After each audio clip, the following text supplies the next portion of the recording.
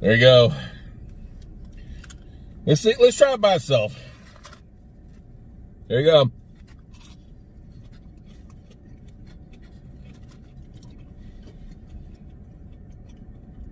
Hmm. Not bad.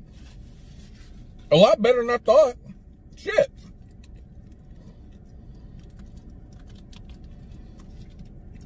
Greasy though. Let's try it with some uh, tartar, tartar sauce on there.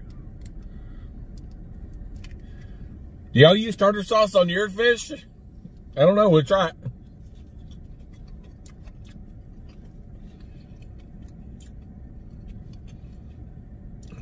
it. Um, it tastes like mayonnaise with pickles in it. Let's hit that again. The fish is outstanding. Um, it tastes really, really good.